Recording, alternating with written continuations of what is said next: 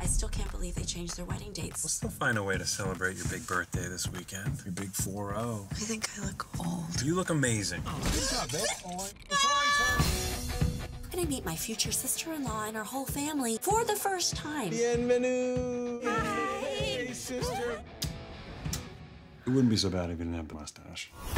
She's really different, and she's an artist, and she's passionate. I do look forward to getting to know you. Oh, you're pregnant. No.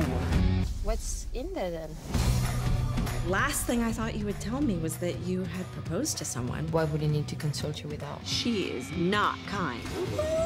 Audrey, slow down. Oh. That wasn't cool. Wow. Oh my god, it's been so long. You invited my ex-boyfriend?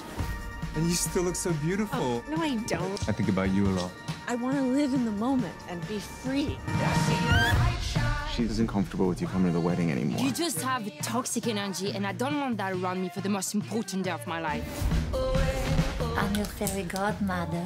Magic organic potion. Okay.